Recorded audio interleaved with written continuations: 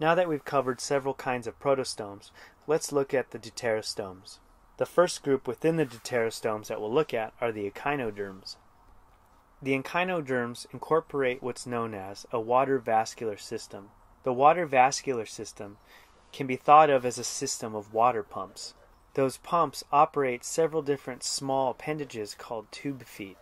On the top right, you can see several of those tube feet exiting the exoskeleton. On the bottom right is a sea cucumber, another interesting example of an echinoderm. Echinoderms appear as though they have radial symmetry, but they actually don't. You can see that the madreporite is on one side of the sea star. You can think of the madreporite as being placed along the axis of its bilateral symmetry. The next group of deuterostomes we'll cover are the chordates. In this taxonomic tree, you can see that the chordates encompass mammals, reptiles, amphibians, and several other groups that you're probably familiar with. The taxonomic tree on the right is a more detailed version of the taxonomic tree on the left. You can see that the outgroup are the echinoderms. What separates the chordates from the echinoderms is the presence of a notochord. The function of the notochord is to provide skeletal support, and in some vertebrates, it develops into the vertebral column. Some of the characteristics of chordates are only present during embryonic development. These characteristics include a notochord, a dorsal hollow nerve cord, pharyngeal slits, and a postanal tail. The dorsal hollow nerve cord develops into the central nervous system, which includes the brain and the spine. The pharyngeal slits are openings in the pharynx that develop into gill arches in bony fish and into the jaw and inner ear in terrestrial animals. The postanal tail is a skeleton extension of the posterior end of the body. It's absent in humans, but present during embryonic development. The first group of chordates we'll look at are the cephalochordates. The cephalochordates include the lancelets. Lancelets live on the sea floor, buried in the sediment. They filter feed by exposing their tentacles to the passing current. Here you can see a photo of lancelets buried in the substrate. The next group of chordates we'll talk about are the urochordates.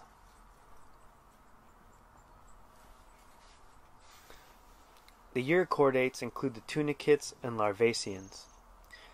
Tunicates are sessile feeders with a mobile tadpole larval stage. On the far right, you can see the tunicate larva.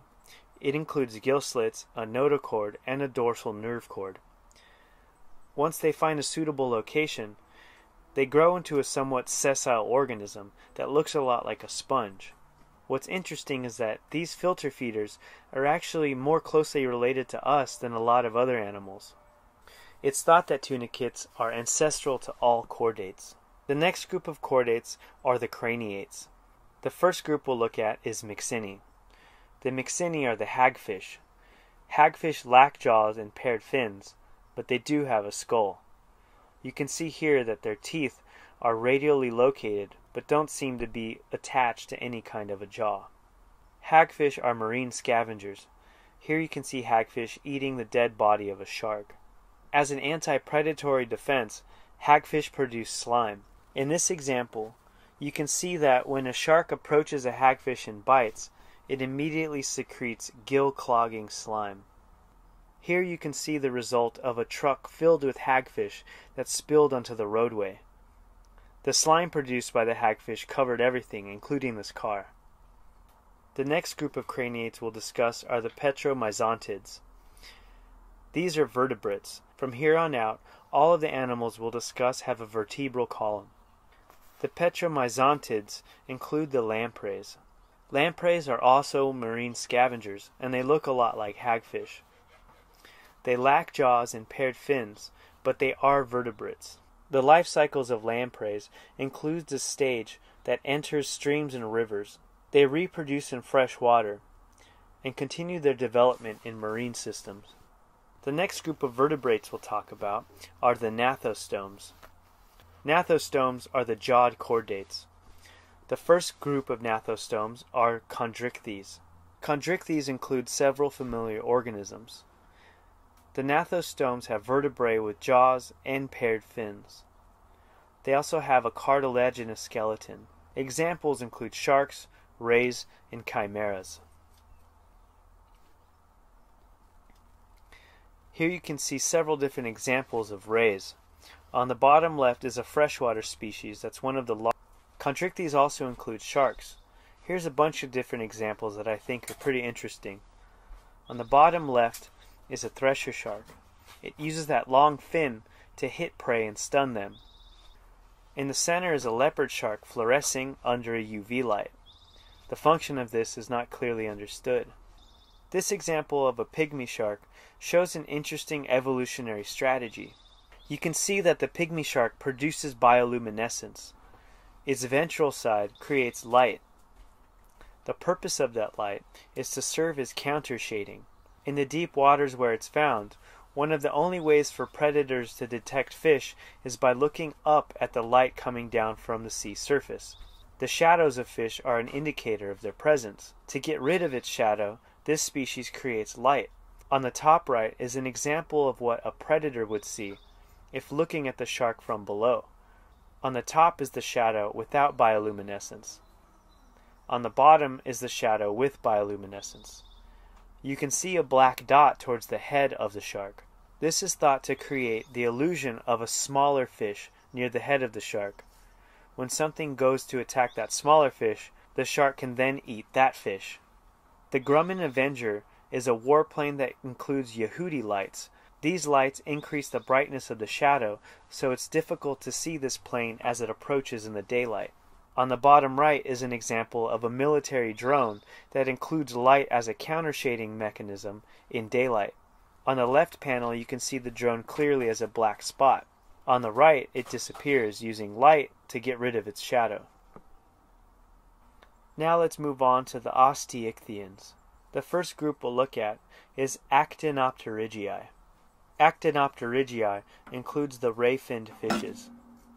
Ray-finned fishes represent about 95% of extant species of fish. They usually have bony skeletons and lungs or a swim bladder. Here you can see several examples of bony finned fish, including the example of cichlids on the bottom right that we discussed in earlier classes. On the bottom left is sturgeon, a species that gives us caviar, but is also endangered. And on the top right, you can see mud skippers, Mud skippers live on the tidal mudflats of Southeast Asia. The next group of chordates we'll discuss are the lobed finned chordates. Remember that we are also embedded within all of these groups. That is, we are lobe finned chordates. We are also osteichthyans. We are gnathostomes. We're vertebrates. We're craniates. And we're chordates. The subclass Sarcopterygii includes the coelacanth. On the left you can see a fossil of the coelacanth.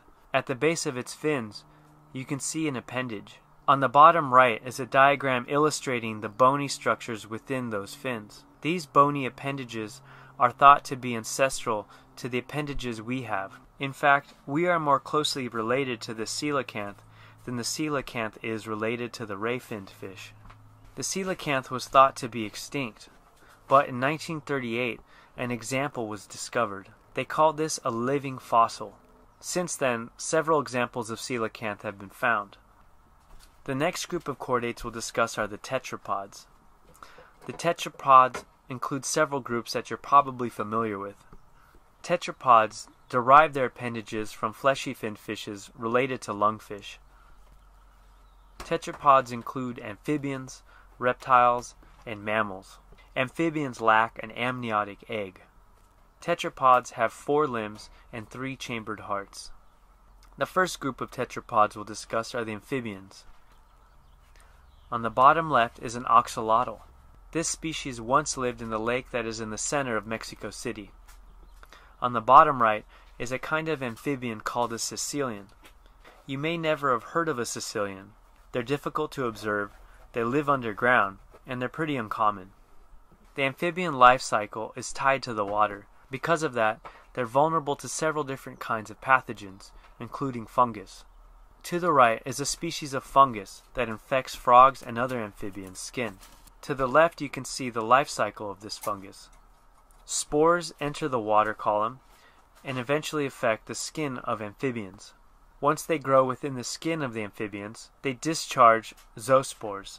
During this process, the skin of the amphibian thickens and the amphibian dies. Here you can see a pond where a wave of infection killed every single frog. The last group of chordates we'll talk about are the amniotes. The first group of amniotes we'll talk about are the reptiles.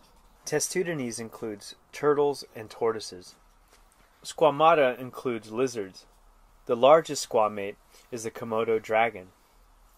On the top right is a basilisk, an example we looked at before to describe surface tension. Crocodilia is an order within Reptilia that includes crocodiles, alligators, and gharials. Aves is a class within Reptilia. This includes the birds. Birds are firmly rooted within the sauropod dinosaurs, which are another group of reptiles. The last taxonomic group we'll cover are the mammals.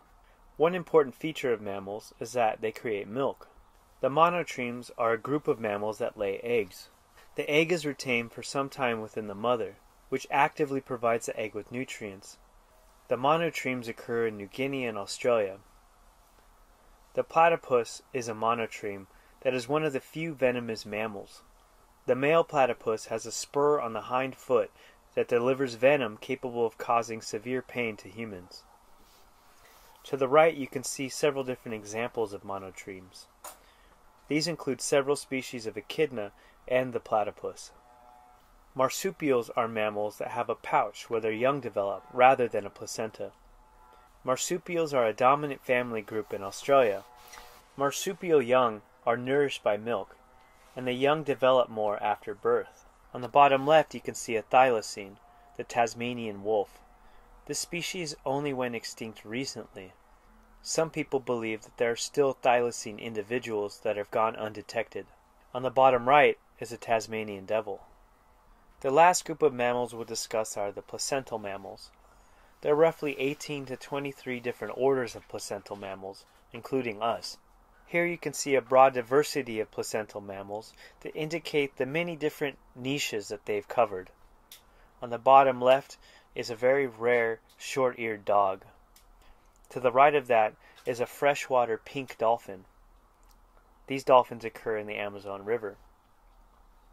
On the top right is a flying fox, which is a flying species of placental mammal. On the bottom right is a sloth, and in the top center is a tapir with its young. That does it for our Animal Diversity Blitz.